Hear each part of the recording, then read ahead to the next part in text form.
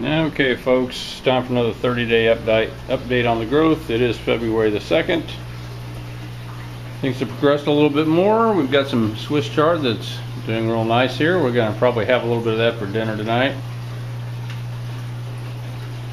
Kept a little bit of the lettuce to uh, continue to feed the fish. I've harvested most all of it though, but you can see some of that hanging down here.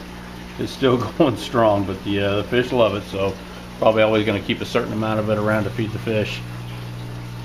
Cherry tomatoes, hydroponic system. Got lots of lots of cherry tomatoes on here. A whole bunch of new ones there. A lot more new ones there. Big cluster of them back there. And it just it smells like tomatoes in here.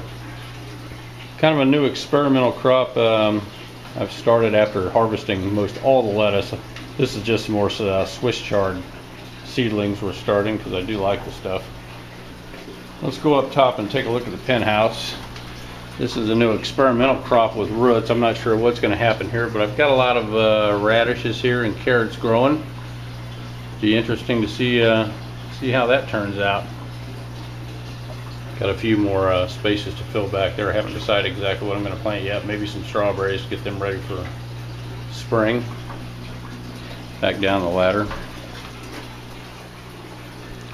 The broccoli has gotten much taller than I anticipated.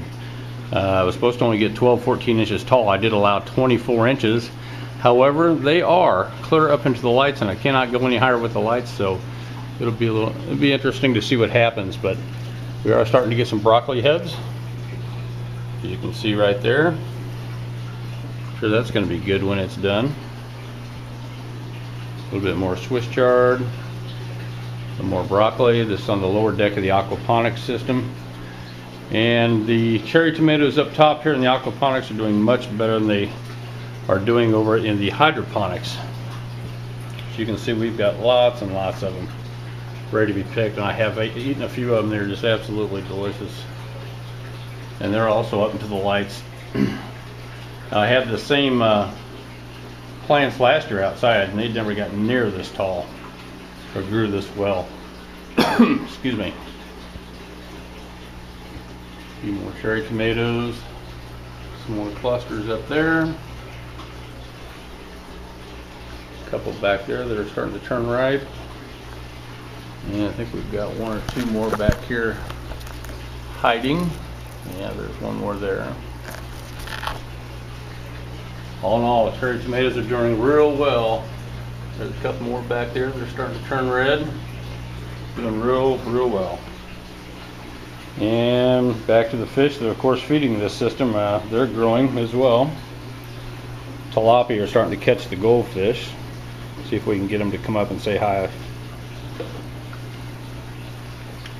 There they are. Haven't named them yet. I want to get away from that just in case I decide to eat the tilapia, but at this point I think we're just going to raise them out to they're a lot larger and try and breed them. But they are some good eaters. I think we've had them in here about two and a half months now. Put them in there at about a quarter inch long. But they're doing well. Of course the lighter colored ones, uh, some of them are the tilapia. There's the big tilapia, probably Oh, getting close to three, three and a half inches long now.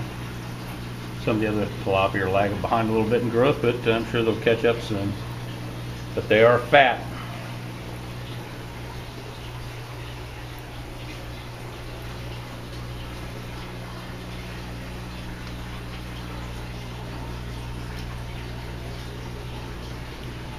Quite a mess of tomato plants up there. In contrast, Petey.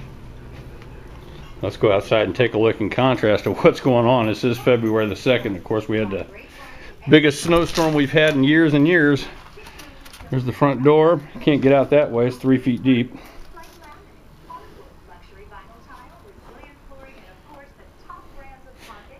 Not quite sure what to do there, are you, Petey? Until next time, thanks for viewing.